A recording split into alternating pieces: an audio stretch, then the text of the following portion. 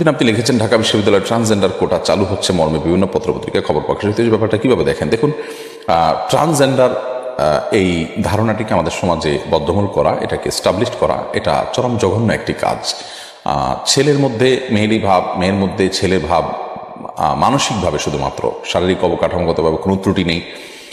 শুধু ভাবের সমস্যা কিংবা তার মনের সমস্যা মনের সমস্যা হলে তার মনের ট্রিটমেন্ট হতে পারে, মানসিক রোগ হতে পারে, মানসিক ট্রিটমেন্ট হতে পারে। সেটা নিয়ে গবেষণা হতে পারে ডক্টরগণ তার ট্রিটমেন্টের কোনো উদ্যোগ গ্রহণ করতে পারে যদি থাকে। কিন্তু তার মনে হলো সে নারী, তার মনে হলো সে পুরুষ, এই জন্য তাকে পুরুষ হিসাবে ট্রিট করা, নারী হিসাবে ট্রিট করা, এটা মূলত সমকামিতার দুয়ারকে উন্মোচন করা। অর্থাৎ সরাসরি সমকামিতা এদেশে প্রতিষ্ঠা করা যাবে না। সেজন্য একজন ছেলে, তিনি মনে করছেন তিনি মেয়ে। তার শরীরে মাথা থেকে পা পর্যন্ত প্রতিটা শরীরের অঙ্গ প্রত্যঙ্গতে তার আর তার নারীর কোনো অবকাঠামো তার শরীরে কোথাও নেই।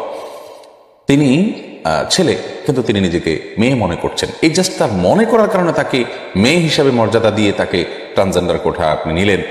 তাহলে এই যে মেয়ে হয়ে গেল, তথাকথিত মেয়ে হয়ে গেল, এখন তো সে কোনো ছেলেকে বিয়ে করবে, অথচ লোকটা আদতে একজন ছেলে।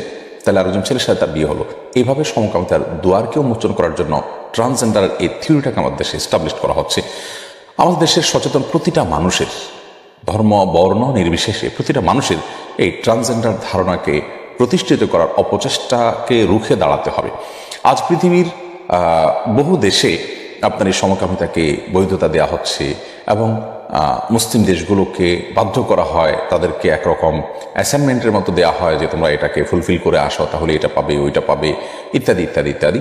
মুসলমানদের নিজস্ব ধ্যান ধারণা, বিশ্বাস, এমনকি হিন্দুদেরও বিশ্বাস এর আলোকে এই ট্রান্সজেন্ডারের পক্ষে তারা অবলম্বন করার কোনো সুযোগ নেই। বিধায় আমরা মনে করি যে বিশ্ববিদ্যালয়ের ট্রান্সজেন্ডার কোটা চালু করাটা একটি অপ্রয়োজনীয় এবং মানে সমকামিতাকে বৈধতা দেওয়ার দুর্বিসন্ধিমূলক একটি উদ্যোগ।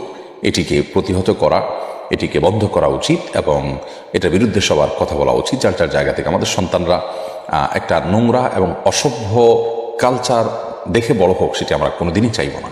সেই জায়গা থেকে যারা এগুলো করতে চাচ্ছেন আমার খুব অবাক লাগে যে সংখ্যাগরিষ্ঠ মানুষ দেশের যে চিন্তা চেতনা লালন করেন, যে ধ্যান ধারণা লালন করেন, তার বিপরীতে বাহির থেকে বিভিন্ন ধ্যান ধারণা এনে সামান্য কয়েকজন মানুষ বা কিছু সংখ্যক কতিপয় লোক সংখ্যাগরিষ্ঠ মানুষদের উপরে সেই ধ্যান ধারণাকে চাপিয়ে দিচ্ছে। আবার তারা নিজেরা মতের স্বাধীনতার কথা বলে, মানুষের স্বাধীনতার কথা বলে, তারা গণতন্ত্রের কথা বলে। এর চেয়ে বড় ভণ্ডামি আর কি হতে পারে? যদি আপনি গণতন্ত্রের কথাই বলেন, মানুষ যা চায় সেটাই আইন হবে সেটাই আপনি বলেন, তাহলে মানুষ কি এটা চায়? আপনি কি এটার উপরে নিরপেক্ষ একটি ভোটাভুটির আয়োজন করতে পারবেন? তাহলে আপনি এই বিষয়টাকে চা, চাপিয়ে দেওয়ার অধিকার আপনাকে কে দিল? আল্লাহ রব্বুল আলমিন এ ধরনের ষড়যন্ত্র থেকে এবং ভয়ঙ্কর বিষয় থেকে আমাদেরকে বেঁচে থাকার তৌফিক দান করে আমাদের শিক্ষা খাতে যা হচ্ছে সেটা এক কথা জঘন্য।